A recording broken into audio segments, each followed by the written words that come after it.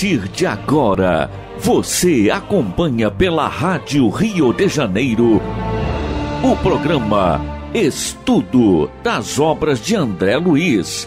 Vamos refletir agora sobre o livro Evolução em Dois Mundos. Produção e apresentação Berenice Lima e Deusa Nogueira. Alô, amigos ouvintes da Rádio Rio de Janeiro. Estamos nós, mais uma vez, com o programa Evolução em Dois Mundos, estudo da obra de André Luiz. E nós estamos no capítulo 9, que fala sobre evolução e cérebro. E a gente hoje vai continuar a falar sobre o fator de fixação. André Luiz fala assim: os neurônios nascem e se renovam milhões de vezes no plano físico e no plano extrafísico, na estruturação de cérebros experimentais com mais vivos e mais amplos ingredientes do corpo espiritual, quando em função dos tecidos físicos, até que se ergam em unidades morfológicas definitivas do sistema nervoso. E aqui ele fala uma coisa chamada cérebros experimentais. E cada vez, meus queridos, vai ficando bem claro para todos nós que a criação não é fruto de mágica, é fruto de trabalho. Qualquer experiência, ela vai expressar um trabalho ativo e abundante, né?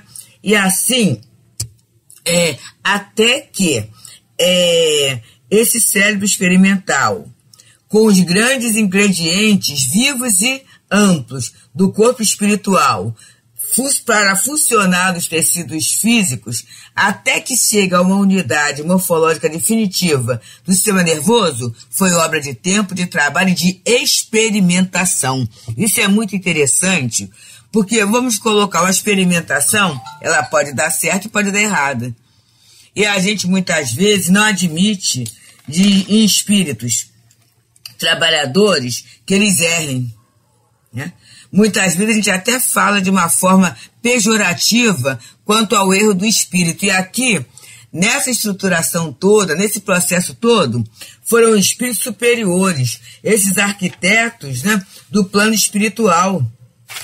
A gente tem Jesus, conforme Emmanuel nos traz, um desses grandes espíritos. Então, mesmo eles estão trabalhando, experimentando, percebemos, meus amigos, para a gente não ficar com aquela visão mágica de espírito de espiritualidade, que acaba sendo uma visão fanática, uma visão fora da realidade que vai nos levar a muitas desilusões. Por quê? Porque, na verdade, não é assim que as coisas funcionam.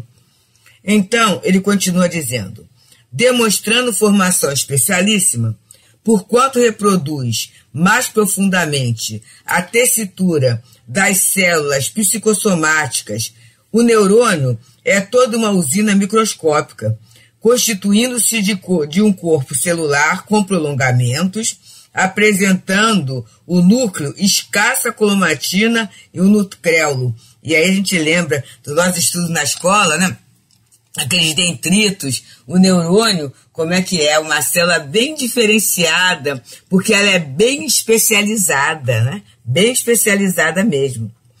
E continua acha-se o núcleo cercado de protoplasma, em que há mitocôndrios, neurofibrilas, aparelho de Golgi, melanina abundante e um pigmento ocre, estreitamente relacionado com o corpo espiritual, de função muito importante na vida do pensamento, aumentando consideravelmente na madureza, na velhice das criaturas, além de uma substância invisível na célula em atividade a espalhar-se no citoplasma e nos detritos, facilmente reconhecível por intermédio de corantes básicos, quando a célula se encontra devidamente fixada.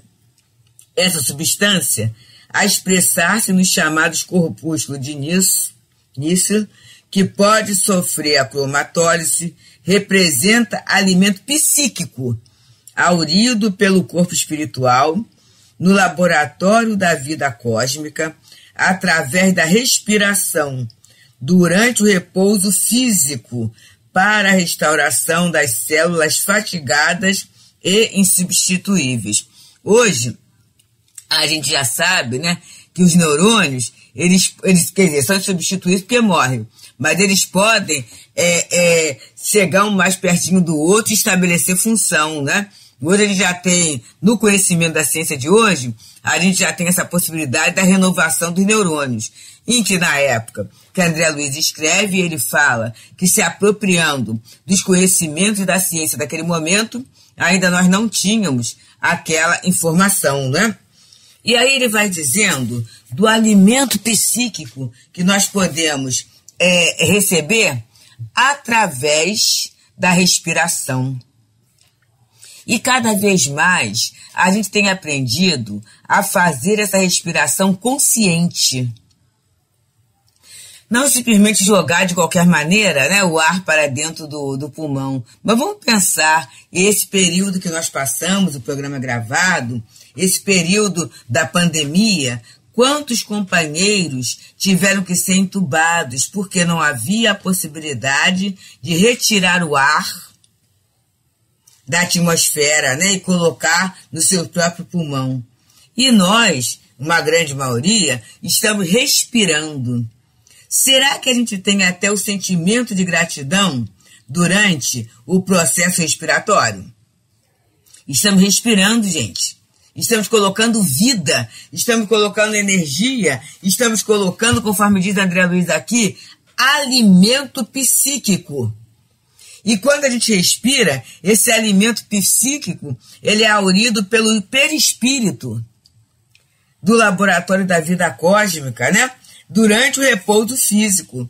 Então a gente está repousando, vamos pensar naquela hora que eu estou dormindo, ou que eu estou num estado assim de, de relaxamento, né? É, vezes sentada, paradinho um pouquinho, vamos pensar, vamos nos permitir receber todo esse alimento psíquico que vai ser, é, é, vamos dizer assim, indispensável para os meus neurônios. É por isso que quando a gente relaxa, né, ou a gente dorme, muitas vezes a gente dorme com situações que podem estar nos é, é, estressando, nos inquietando, e a gente acorda melhor. Por que a gente acorda melhor? Porque realmente esse estado de inquietação, esse estresse, ele vai é, é, aniquilando, né? ele vai sobrecarregando o nosso sistema nervoso. E através do sono, o que, que vai acontecendo?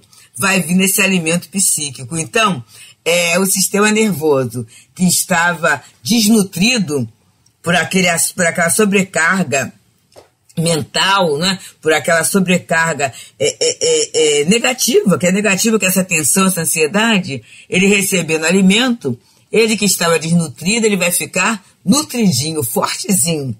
E quantas vezes, né, é depois de um sono que a gente consegue ter uma boa resolução, que a gente consegue ter calma, que a gente consegue pensar assim, ah, mas não era tão assim conforme eu estava imaginando as coisas começam a mudar né, através dessa questão do repouso físico.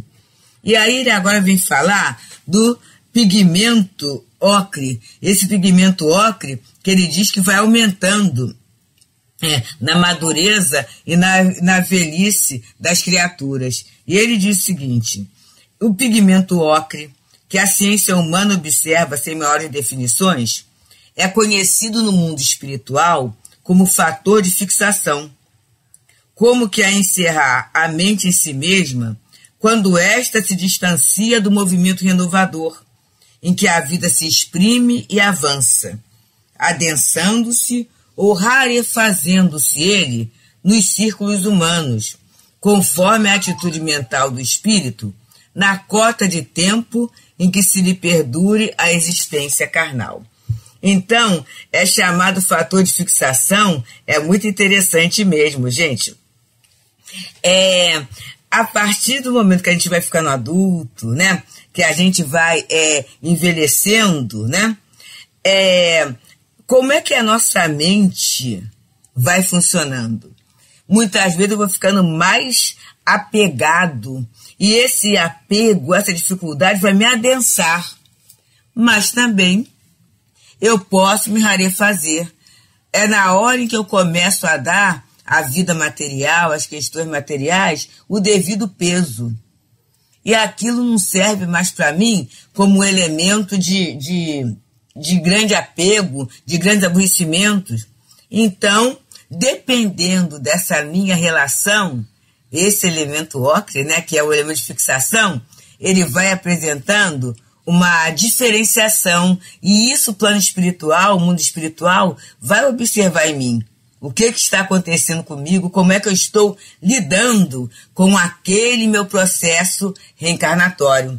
E aí, é, o nosso querido André, ele vem com outro subtítulo que é Reflexos Tipos. Vamos nos lembrar que a gente está estudando, é, a gente está estudando esse capítulo, né, sobre a questão do cérebro, sobre a questão do nosso cérebro.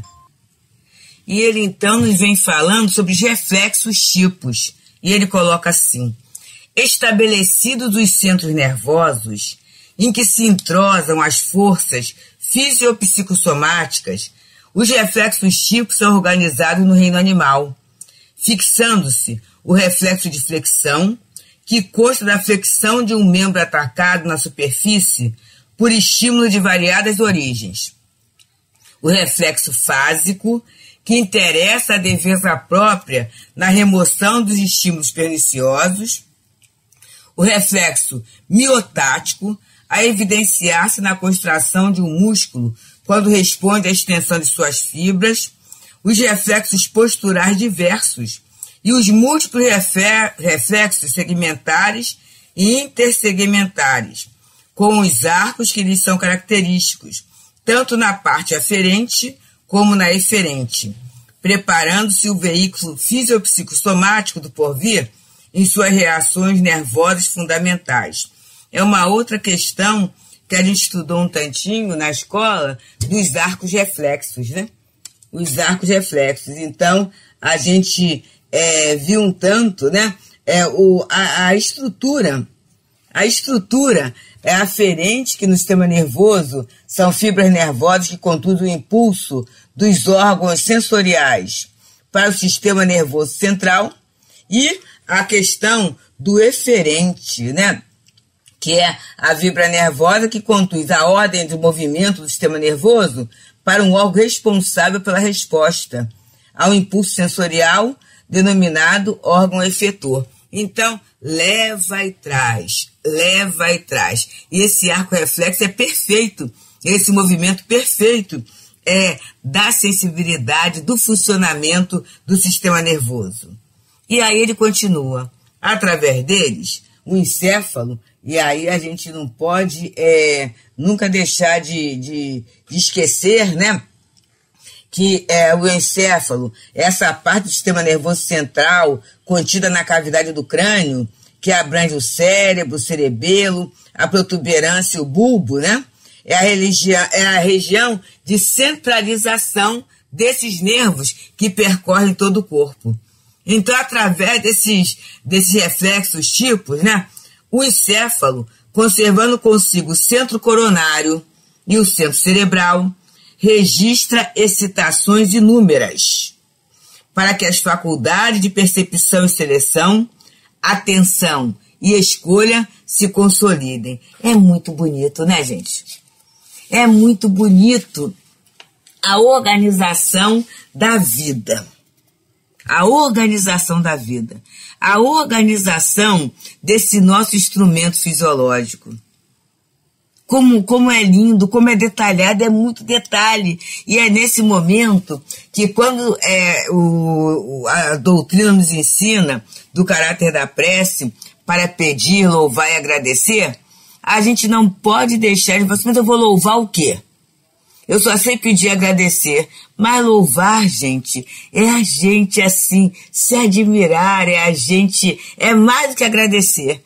Porque nenhum de nós poderia pensar em todas essas, essas providências. E nós poderíamos pensar nisso, em tudo isso. Quanta providência, quanto detalhe para que a gente funcione bem dentro da reencarnação. Para que a gente aproveite bem, para que as peças respondam. É muita coisa. a gente pode parar e pensar assim, ó, está tudo preparado para dar certo. Quando eu entro num ambiente ou numa questão em que eu percebo que está tudo preparado para dar certo, eu fico mais tranquila, né? Eu terei menos inquietação. Eu não preciso me preocupar com nada, é só fazer a minha parte, porque está tudo é, imensamente preparado para dar certo. Nós vemos que ele diz aqui, né, que através desse preparo, desses reflexos, é, a gente vai poder exercer essas faculdades de percepção, seleção, atenção escolha. E aí eu tenho que começar a pensar como é que eu estou percebendo a vida, as situações, porque o primeiro ponto é a gente perceber. Depois selecionar. Eu estou selecionando as experiências. Eu estou selecionando minhas palavras, minhas atitudes. Mais difícilzinho. Meus pensamentos. Eu estou conseguindo selecionar meus pensamentos. Eu estou tendo atenção ao movimento da, do meu projeto encarnatório. Eu estou sabendo fazer boas escolhas e a escolha e seleção é bem interessante, né? Porque a escolha é como se fosse, ele coloca aqui, como se fosse a questão final.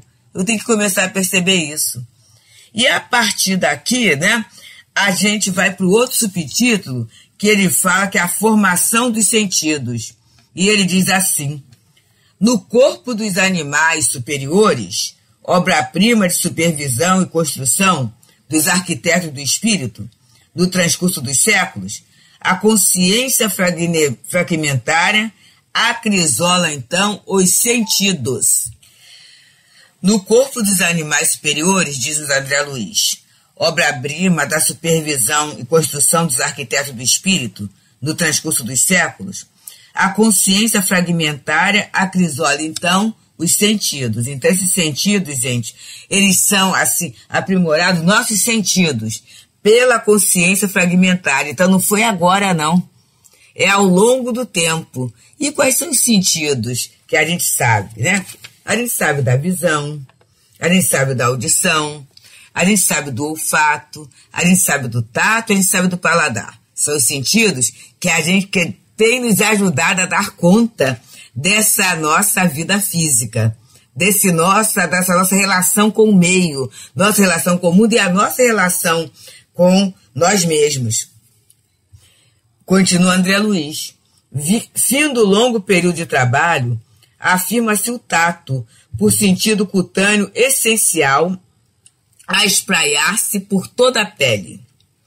Esta se converte em superfície receptora, com variadas terminações nervosas que se salientam por extrema complexidade, desde as arborizações simples até os corpúsculos especializados que se localizam dentro da derme, utilizando células especiais em comunicação incessante com o cérebro, para que as sensações táteis constantes possam defender os patrimônios da vida.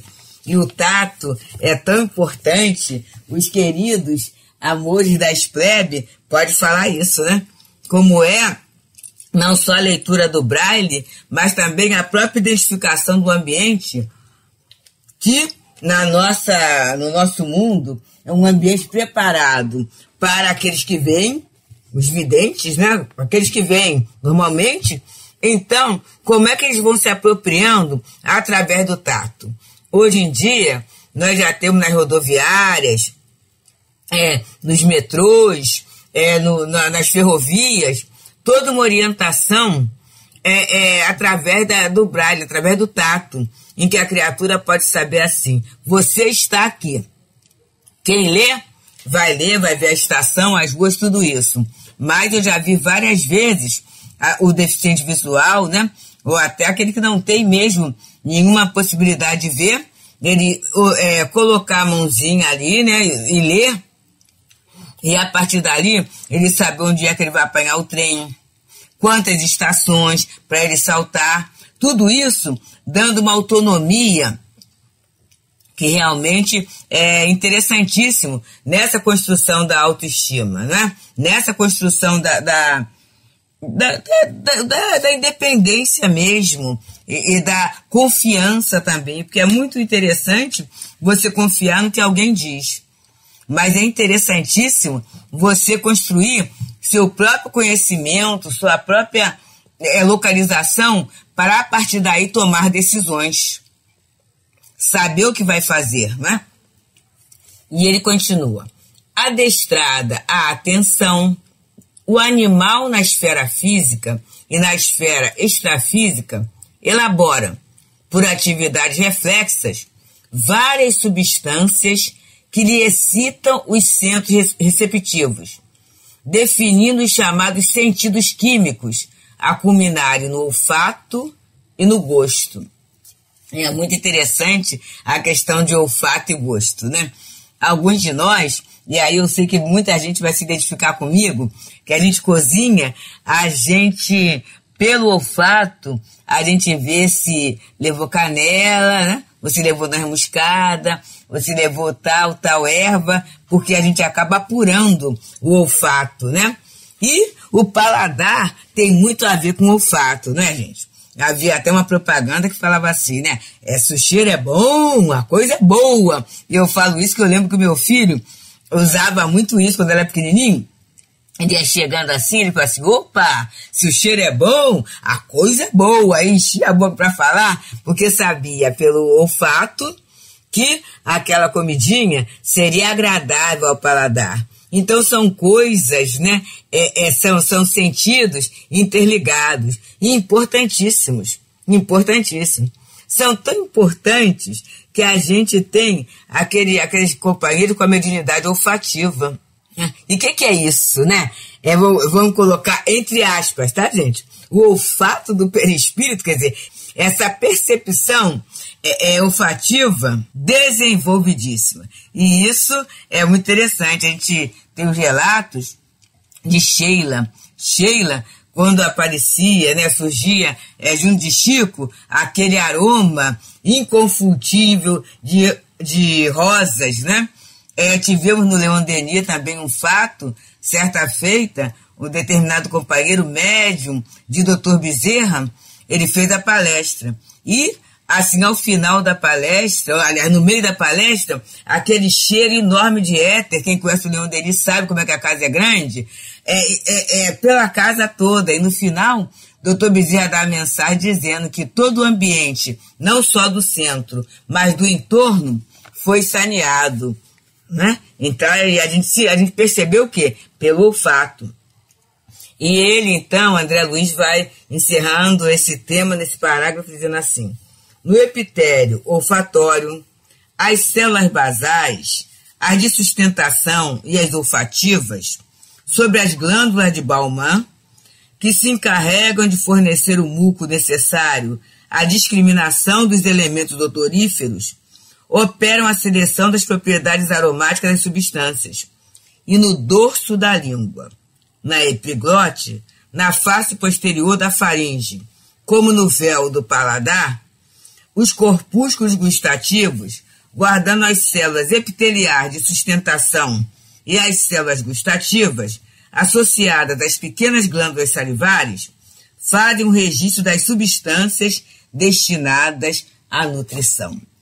Então, amigo, amigos, é todo um trabalho, é todo um cuidado, é toda uma consciência que André Luiz vai permitindo que a gente vá tendo do nosso próprio funcionamento para bem usarmos, bem aproveitarmos, evoluirmos e sairmos com sucesso dessa trajetória reencarnatória. Né? Não o sucesso do ponto de vista material, mas o sucesso moral aproveitar todos os recursos para que a gente possa ser bom, ser bom, ser melhor, ser é, mais coerente né, com a bondade de Deus que nos sustenta.